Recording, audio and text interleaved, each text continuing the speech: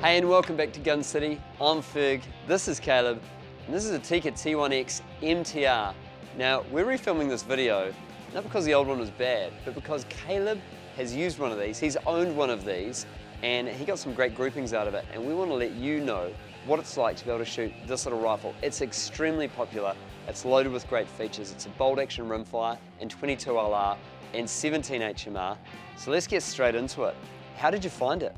Yeah, so this is, this is a great rifle. I was intrigued with this because everyone that bought one came back to us raving about how good they were. Yeah, exactly. Um, so they're just packed with features. It's just a great workhorse rifle that's very accurate. What, what features drew you to it? So the, the main point about this one is the medium profile barrel. So Yeah. it's the benefits of a heavy barrel, but it's Yeah. nice and light, so you can use it as a hunting rifle, and that's what it's marketed for.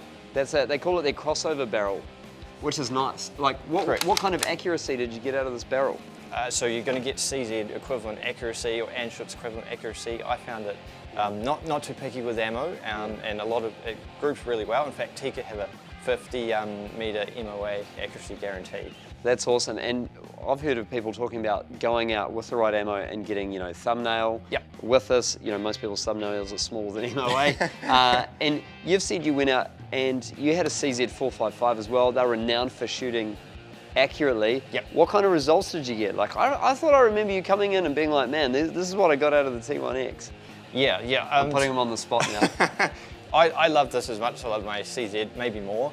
Um, I think it, had, has more features, including the modular stock system. Yeah. Um, it's just a very comfortable and light rifle. Yeah. Not that the CZ isn't, but you're going to get equivalent accuracy, if not better, maybe. so what accuracy did you get? I'm sure you shot it at 50 meters and you told me all about it. Um, it, it, personally, my one likes CCI. I got Yeah. I got thumb hole groups um, with- my thumb thumbnail. Yeah. At 50. yeah, 50. Yep. Like that's phenomenal. It's awesome to be able to have a rifle that you can essentially take to the bank that it's going to go out there with the right ammo and shoot a group like that, eh? That's right. And the great thing about this, it does help. Um, adjustable trigger. It's from two to four pounds. Yeah. And um, yeah, 10 shot mag. Uh, yeah, it's just Hey, and, and like, what's not to like about a 10 shot mag and a rimfire? right. You know, some of these high capacity magazines can be prone to jamming. Uh, you know, when the pressure's on. How did you feel this one was for cycling? Oh, very smooth, very smooth. And Yeah. you know, you can just use a figure, just drops the magazine right out. You don't have to use two hands. Oh, Um, yeah. So really nice and All chill right, well, I'm just going to try and use a. Fi- oh, look, Pops right goes. out. Just, just pops right out. That's it. Cool. So, made by Sako. You got that Sako trigger on there. Awesome barrel. They come threaded. In uh, 22LR, they come in a variety of barrel lengths. Can you remember what they are off the top of your head? I believe it is use the 16 and 20 inch. Yeah, I Yep. think it's something like 16 and 20. And then you got the 17 HMR. Now, there's a T1X UPR, which has got a more advanced stock around it. Yeah. Would you ever be tempted to use one of those?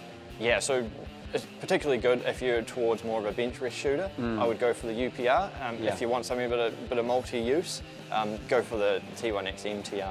That's it. Cool. So Caleb recommends it, loves how well it shoots. Now we're going to show you some sweet footage of Caleb shouldering it.